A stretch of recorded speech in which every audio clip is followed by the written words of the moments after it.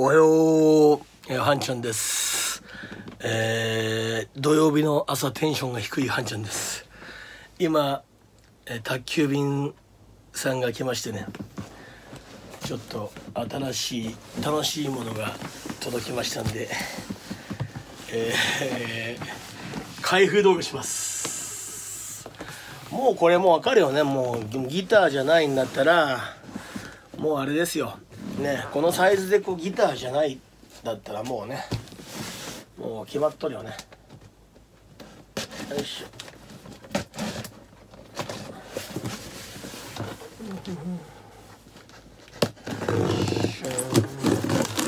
よいしょ。よいしょ。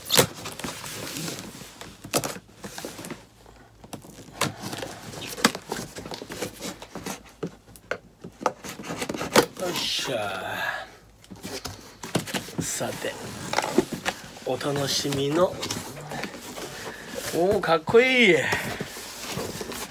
っしゃじゃーん。スケボーで。スケボーちゃんね。おいしょ。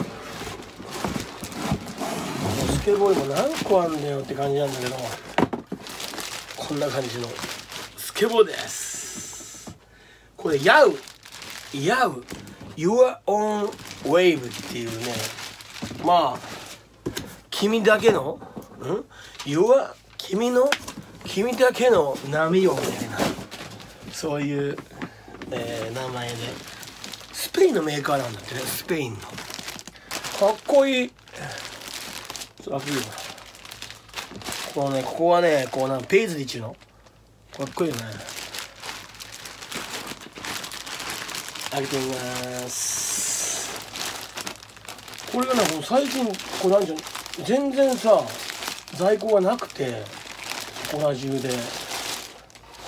たまたまなんか見つけていやよくさあの通販とかでさあってもさこうあれじゃん。何？注文した後にさ「いややっぱ在庫なかったです」みたいな結構あるじゃん。ねえ。それかと思ってだって他のサイトだと9万とかさ8万とか出てたんだ最低でも7万ぐらい。それぐらい最近ねなんか人気らしくて全然在庫がなくて。ちょっとさ転売多くね？メルカリ。メルカリのスケボーシーン。もう転売多いよね。なんかさメルカリってさもうスケボーを始めてからさメルカリを見るようになったんだけどあのまあその前にこれか。その前にこんな感じです。えー、ヤウのねマリブ。ヤウのねマリブクラシックっていうこう一応ロングロンスケなんかな？36インチ。36インチなんでね結構でかいですよ。えー、これ結構でかい。もうまあ1メーターぐらいなのかな多分ね。わかんないけど。いていてさっきこのハサミのさここでさちょっと切った。やばいちょっと待って一回ちょっと止めるね。一回ちょっと待って。えー、ちゅうことでこのあのマリブ36インチです。かっこいいな。これもうねルックスに俺も一目惚れしたね。ルックスに。Your Own Wave. ヤウクラシックシリーズあこれいいね。六角なんだ。六角レンチなんだ。ここのビスが。でヤウってねここがこうさ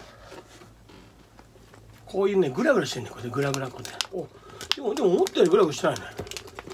結構こんなにもっとなんかなんかへなへなへなかと思ったけど。結構このビヨン。ビヨンビヨンビヨンビヨンって感じだね。なんかねここのトラック変わったらしいんだよな。今年から。メメ MERAKI？MERAKI とかいうねこう変わったらしいんだよ。こう去年までの去年までのトラックとちょっと変わったらしいんですね。これ切っちゃおう。よいしょ。うん。だからあのヤウってすげえこう前輪がぐにゃぐにゃしとって俺スラスター持ってたんだけど前ウッディプレスの。そ最初最初それ買ったから全然乗れんくて。でその後あのイロスっていうこんなちっちゃいやつ。これをねなんかねイロスのメーカーの人とねなんかねちょっと話が盛り上がってねこうテストライダー的な感じでこうなったんだけどこれがね俺がこう初めて乗れたスケボーなんだけどちっちゃいんだけどなんかすげえ乗りやすくてねこれと比べたらこの違いだよね。もう何個分？2個半分ぐらいか。ね。なもんでこうサーフスケートのイメージがよくなくてね。こうここがスラスターっていうのはなんかこうなんか怖くて。でイロスがこう急にあの乗れたからあスケボー面白いってなってまあハマったんだけど。でももともとわしがスケボーを始めようと思った理由がサーフィンなんだよ。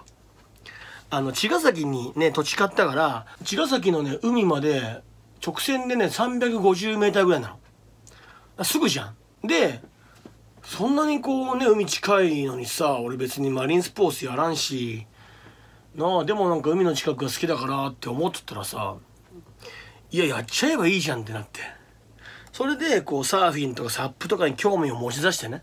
それでスケボーにも興味を持って、ね、サーフスケート何も分からずにアマゾンで、ね、1万5,000円ぐらいなのかなウッディブレスって。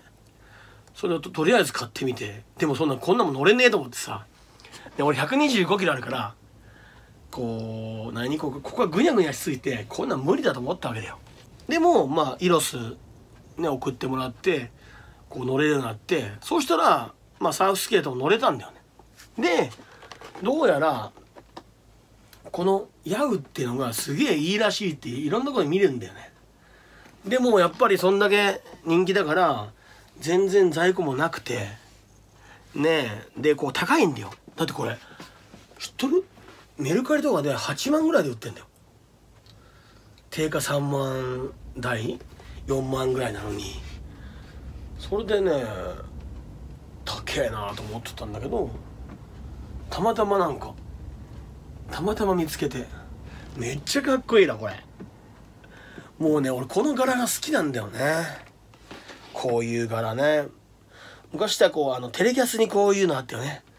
テレキャスにさかっこええっつってもうこれはもうよく分からんけど俺125あってここのトラックがこうどうなんか分からんけどさとりあえず買ってみようと思って。ね。でそうだ。あのメルカリの転売の件だよ。結構さメルカリってこう、ね、あの値下げ交渉多いじゃん。ね。で値下げ交渉して予算がこれぐらいなんですみたいなここここまで下げてくれませんか？とか言って。それってさ自分で乗るわけじゃないんだってね。だってメルカリで買ってそのまま違うメルカリに自分のメルカリで出してたもん。2倍ぐらいの値段で。なんかさそういうの見るとなんかつまんねえ人生だなと思うわけですよ。ねまあもちろんわしもね買って合わんかったものは売る売るけどやっぱ自分でこうさね遊びたくて買うわけじゃん。何でもさ楽器でもスケボーでもさ。で合わんかったらそれはまあ出しますよね。そりゃ、ね、誰か会う人にこうね譲るとかヤフオクと出したこともあるけどなんか転売目的でさこういうのななんか嫌だよねそういうのってね。ちゅうことでねまあねこのヤウさんはでもこれなんかねもう可愛いからまあ最近のね俺の感じだと乗れるでしょっていうことで、えー、とりあえずヤウクラシックシリーズのマリブ36インチね。だからこのトラックも去年までのやつよりはなんかちょっとこう安定感が増したって話聞いたね。古いやつはさここになんかさビスがあってさこうぐらぐらこうん？あのトラックが動かんようにするシステムがあったらしいじゃん。あの S5 とか S4 の時代は。でもこのメラキメラキ合ってる？メメラキ？メラキのなってからはそのシステムがなくなったんだよな。まあその必要がなくなったってことなんじゃないかなと思ってます。なんでとりあえず今日は開封動画。やっとぜこうヤウオーナーですよ。かわいいなこれ、え、ヤウのマリブクラシック。メラキートラックバージョンです。おお結構曲がるね。これ。うわこんな曲がるんだ。